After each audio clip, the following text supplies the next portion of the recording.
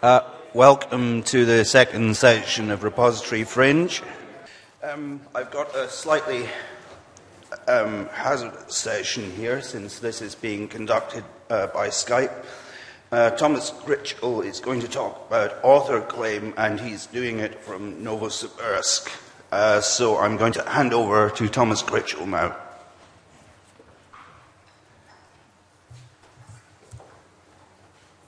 Okay. Okay. Right. Uh, good afternoon from Siberia. Um, I'm Thomas Krichel, and my talk today is about IR repository data in AuthorClaim.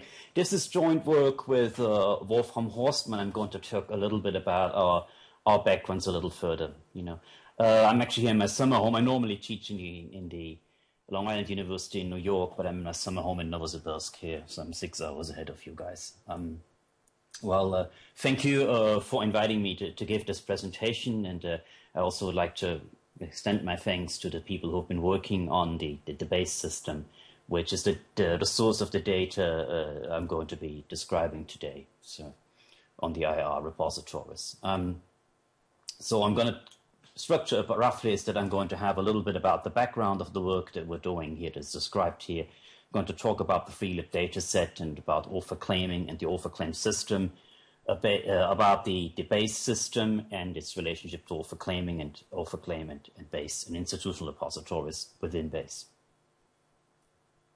So a little bit about background about us. Uh, Wolfram Horstmann, I'm sure some, some, of you know it because he's been involved in, in European projects, right?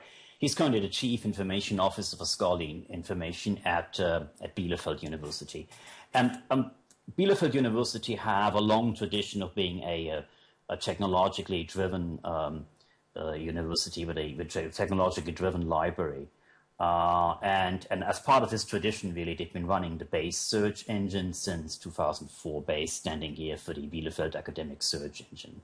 And it's basically a concern of them, but, but it's been going on for a number of years that they've been pushing forward. And it's, it's work that they're doing that is not immediately dependent on, on any funding source. So it's not really attached to any funded project that they will be starting or finished. They've been working on this for a long time already, independently of funded work. A little bit about background about me. Uh, you may have heard my uh, name uh, with, in conjunction with probably what is my main reason for complacency, which is the creation of the REPEC Digital Library in the early 1990s, really starting about 1991 and so on. And I've been um, building this through its very, very early stages uh, over the long run. Uh, and it's a long run concern of mine. And uh, so I'm into, you know, building things over the long term, which, you know, in some ways brings me close to the concerns that they have um, in, in Bielefeld, right?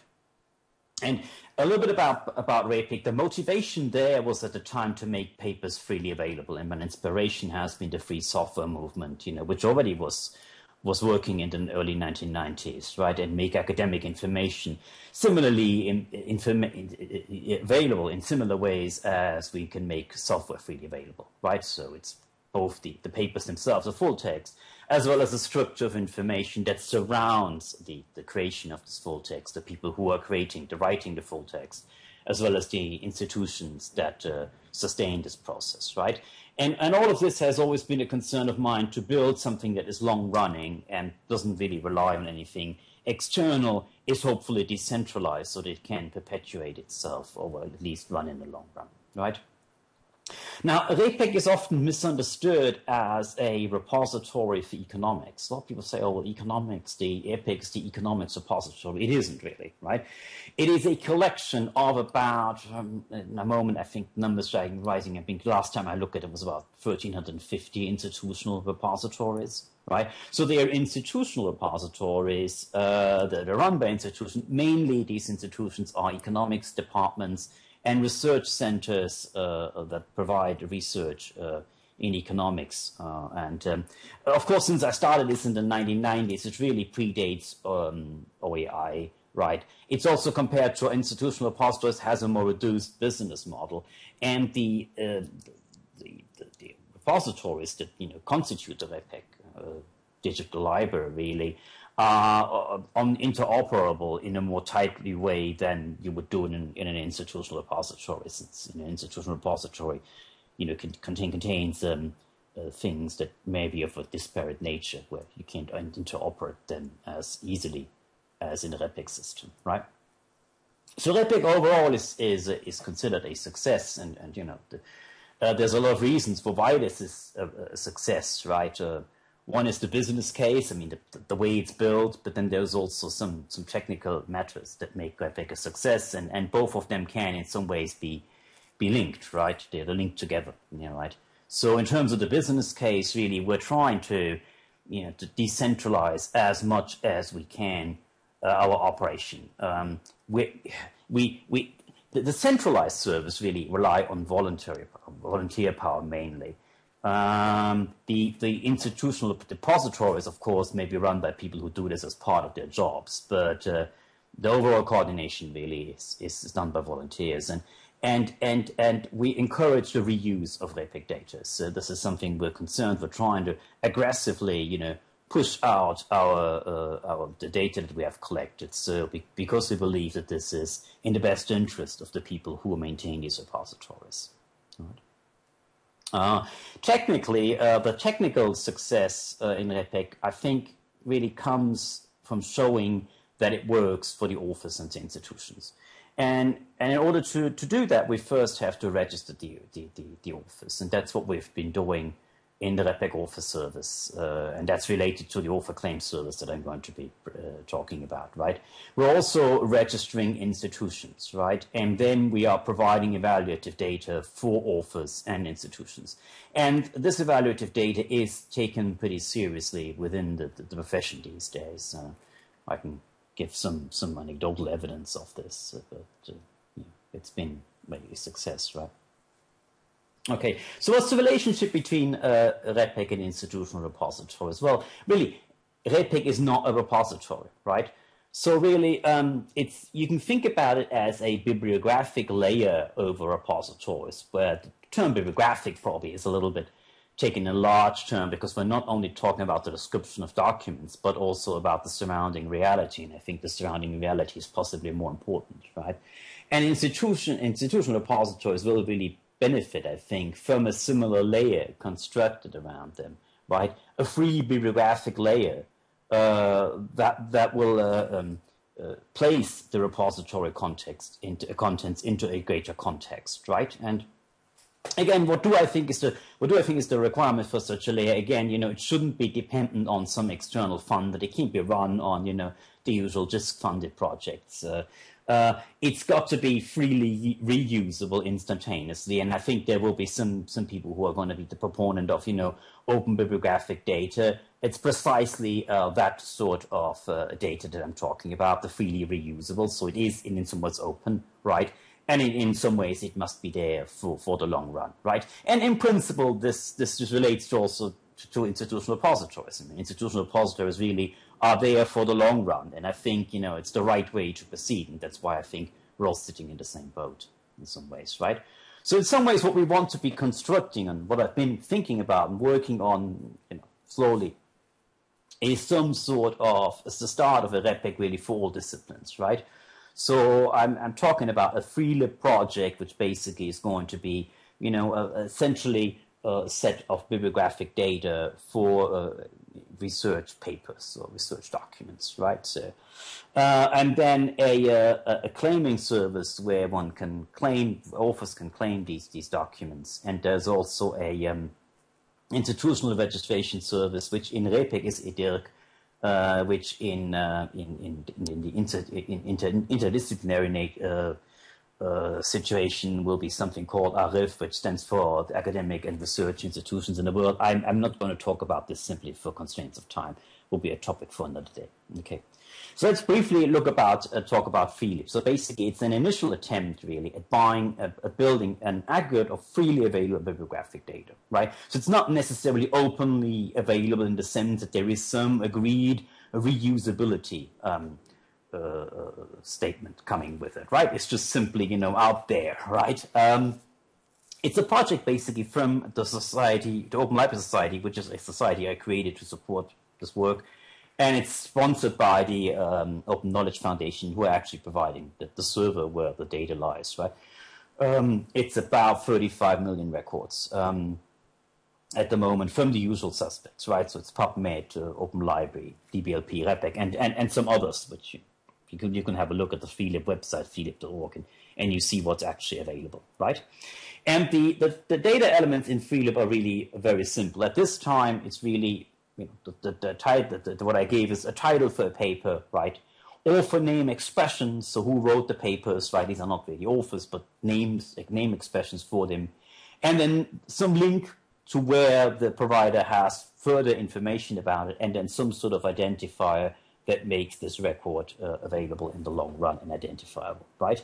And and and really, the, the reason why we're doing this, well, first of all, this these are factual data, so we we're not really constrained by copyright issues over these data. And secondly, this data really is meant to serve an author claiming uh, procedure, and this author claiming procedure actually can uh, uh, operate with that sort of simple data. It doesn't really need any further data such as subject classifications or abstracts or right?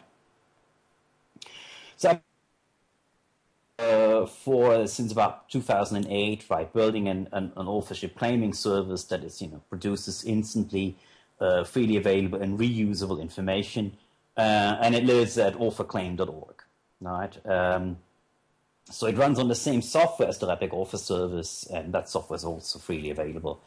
Um, um, a little bit of background about author claiming. I mean, author claiming is really something I first started um, the, the REPEC author service about 1999.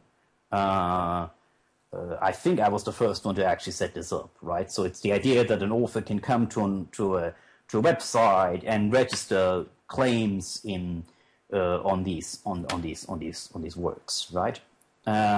Uh, but then there have been, been others coming along, right? So the Institute of Scientific Information created Researcher ID.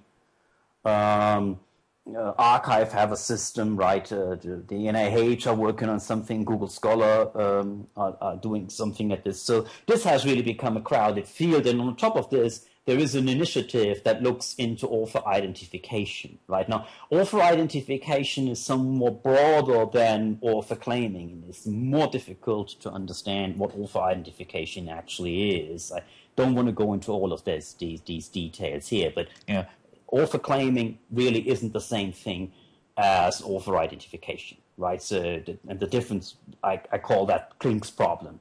Klink's problem basically is, you know, is that you know a person can claim to be an author of a paper, but there are several authors, and we don't know what author that person was, right? So, assumingly, Jane and John Smith wrote a paper together, right? And the author list says J. Smith and J. Smith, and we don't know if Jane or John were the first authors. Now, you may say this is not something that is all that um, uh, that, that relevant in practice, since we can always some make some sort of um, regular expression matching. And in fact, yes, it's true, we can mostly deal with this, but there is a theoretical difference. And uh, I think this, this is one of the, the, the, the, issues that, you know, I believe clouds the whole issue of author identification and makes it difficult to understand what it actually is, even for people who have been working on this for a while, right? But let's turn to, to author claim data. The actual author claim data lives on an FTP server, ftpauthorclaim.org. It's available there. It has explicit licensed uh, in, in CC0. So you can take that data and, you know, uh, um, and, and use it, right? And an example data is here's, here's a data structure, basically. I mean, this is XML data. I'm, I'm not showing an XML file. It would take too much space here. Um, but the structure is that there is an identifier, right? There are name variations of the person and then there is the, the papers that the person has claimed are his, and the person, the paper, the, the paper he claimed were, not his, right? So the, the, the, papers that he has refused. Now you may say, Thomas, what's the point of having the data about the refused papers? Well, it's actually very important to have those because we can build computer learning models, right? Knowing which uh, papers that the person has refused will will be able to allow us to, to distinguish Joff Builder from somebody else who is also called Job Builder but has done different work, right? And for that we use uh, uh, computer learning and actually works quite successfully and it's actually built into the operations of author claim itself, right? I'm going to spare you technical technical details, right? So how does so how should author identification really uh, work? Generally, author identification is difficult to perform in institutional repositories because they're just simply too large to do it by uh, institutional repository staff, right? staff, right? So staff can't really can't, can't really do it very easily. Uh, usually, we require a registration of contributors or at least some sort of depositor, right? Um, and I believe that is going to be continuing uh, to, to, be the case. And institutional repositories are also too small really to make it meaningful for authors to claim papers directly in them, right? And there is a way when you can say, okay, you know, we could have, you know, author claiming in each in each institutional repository with each or generally with each publisher out there, publisher in the sense of making uh, uh, work public, and then uh, have some sort of other layer that will actually unite these different claims. I think this is possibly where ORCID is going to be, going towards. Uh, still, I believe you know doing it for all all of these different publishers separately is going to be uh, problematic for authors to do, right? So, what is the benefit of author claiming for an institutional repository? Well, if your papers have been claimed in author claim, you can get that data, and then you can build a uh, an, an author page for your institutional repository, and that author page can be completely automated, right? So you can you can you can look up from the identifiers that you're getting from author claim, which are your internal papers, and you can link to them directly. And for the others, you have a link to an external service that is going to be linking to an external service, and then then then people can from there go to an external service and actually and actually uh, uh, uh, re- reach the paper there, right? And, and, and, and your authors are going to see, well, for certain papers, I have more data available, I have abstracts and I have subject classification and so on. Well, that's the paper that are in the institutional repositories. Uh, so you have an incentive for people to actually to actually deposit more and make this to make this complete, right? Okay, to get this done in practical terms, what does that mean? Well, all we have to do is to harvest all the harvest all the institutional repositories and make them available in author claim. It's not easy, not easily to be done because there are already 2,000 uh, institutional repositories. Therefore, to do this, I've been looking for a partner, and the, the partner found is Base, right? So we need some sort of a centralized collection for this material so that I can get it from via that centralized collection and Base is already doing this, this, this particular job. So Base can really deliver all this, this, this data to author claim, and they have started to do so, right? So basically, what they are doing is they're monitoring the OAI-PMH world, right? Uh, they configure, you know, the harvesting for each um, uh, repository, right? And they, they provide metadata stores, both for the raw data, mainly OEIDC, and for some normalized data that they're producing out of these these data um, uh, be using some sort of matching to an internal metadata format, right? And so we, we need for certain things, you know, because they're heterogeneous, these in OIDC, right? There's some cleaning that they're doing for types, date, language, right? And, and also they provide some subject classifications, right? Uh, they provide search services for this, right? Uh, an API you know, for, for index by use uh, by third parties and so on. Um, uh, there is a repository profile service. These are I use those directly for author claim in order to get profiles of repositories, right? And there is a, a access store for the raw metadata. Um, I'm not sure if there is something. I think it's being in process of being built uh, for the data that has been normalized, right? And they did a specific uh, for me to put uh, things into the freelib collection and then later into author claim, and that's what is currently happening at this time, right? Remember that for to have P, uh, uh things in freelib, I need basically have I need to have these four elements, right? I need to have the author, the title, link, and the identifier, right? Um, it's okay. Generally, the author and the title are easy to find. Uh, the identifier we can construct by some sort of grandfathering procedure, uh, but it's it's um, a bit more difficult because the identifier can be put into different places. The real problem is the link, right? So I need to have some sort of link for a web page that gives me further information about that item. There's no OIDC field for that, and you know there's a lot of ways in which different repositories are actually going about this. Base have have um, uh, uh, uh, done this. They have united these and, and link and, and have a specific field for this that I that I actually use and that they're exporting to me, right? Um, I then I also use the repository profile to do some exclusion of some repositories which I think do have material. With all due respect, that I don't really need uh, in in in author claim, at least not with priority, right? So works for students. I, I usually, in a thesis and dissertations, digitized old material. No Pharaoh is going to come and claim his writings. Um, uh, uh, link collection, uh, which, you know, the authorship is a problematic thing, and, and primary search data. Obviously, authorship of primary search data isn't at this time uh, something that people are going to be claiming, although in principle, you know, author claim can be extended to, you know, editorships and, you know, guess, hunter and gather of dataship and so on. It is in principle extensible, right? Uh, there's some minor manual exclusions. For example, I exclude UK PubMed Central because it's already in PubMed, right? So this, this. Okay. My results so far, uh, I have about 90, uh, 13, um, what, a 1930 repositories, 1,930 repositories. I just did a count today. There are about 12 million records in there. Um, from an earlier set that I got from, from them, which uh, did the, was the records, some repositories and driver, I have about 535, 34 records already claimed in the system, which I then I changed the identifier to go to the new collection. I have some documentation about what is available, right?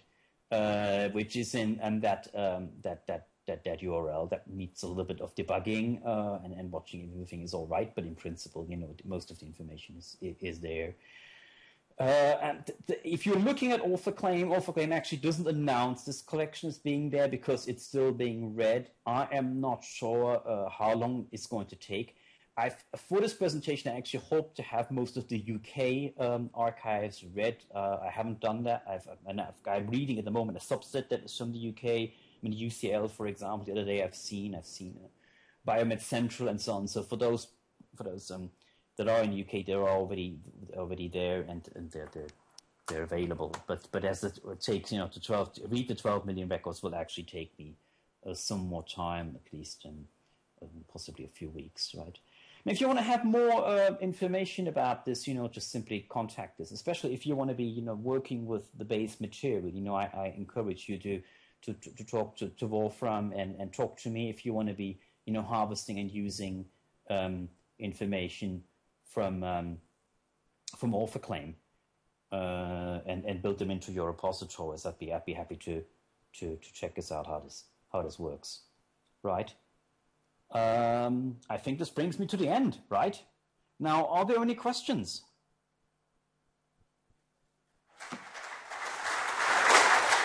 Music media. Starting?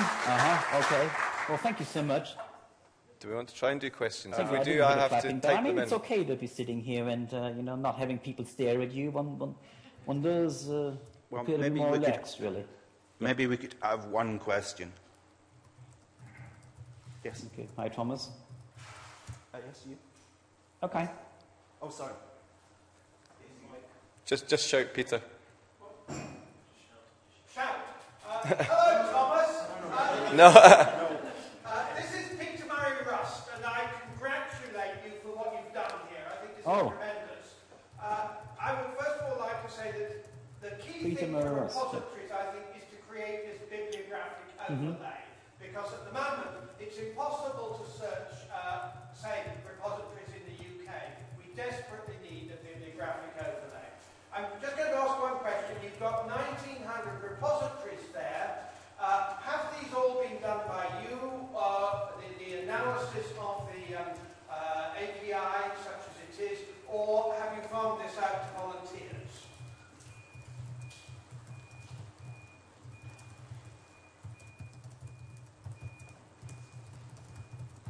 Oh, sorry.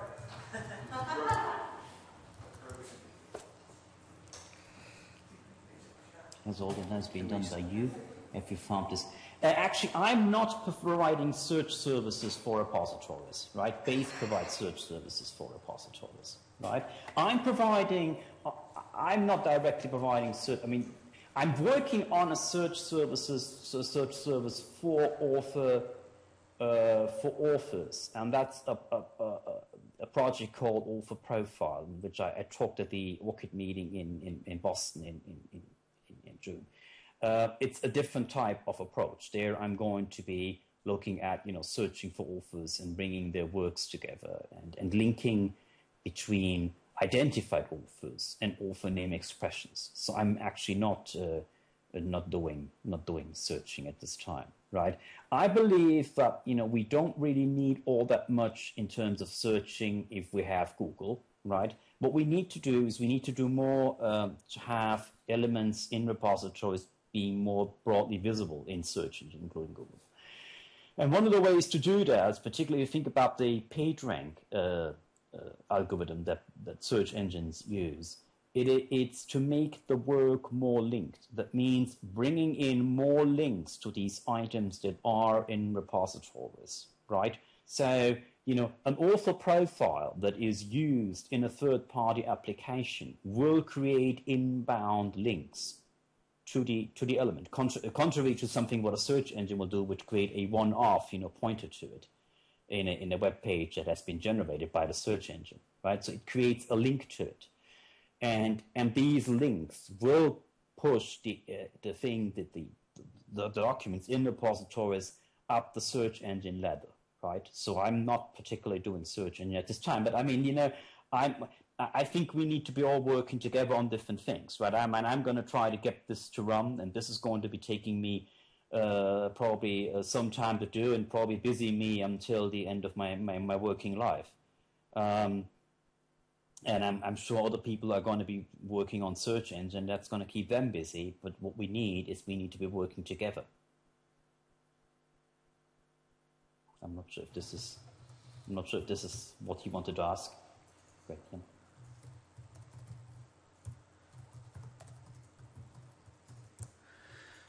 Okay.